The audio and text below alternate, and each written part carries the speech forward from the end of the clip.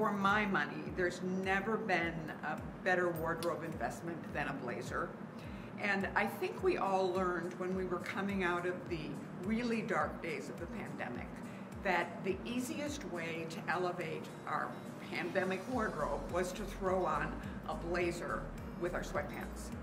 And um, that trend really continues into spring. And what I'm really loving about spring blazers is we have a lot of different styles and we also have a lot of different price points. So like we, we have things that are in the $79 range, which I think is absolutely terrific. It's a very classic looking blazer, but really beautiful. And we've sort of elevated the sweat pant to a jogger. So you wear your jogger and you put it with the basic blazer, you probably have this one in your closet. And you've got a perfect spring trend. And you know, think also this, look at this, this is like a wool blazer, but this is going to evolve into spring with white pants. So yeah, go into your closet, you've got blazers, come into Faye's, get a new one. That's my blazer story and I'm sticking to it. Be loyal and shop local.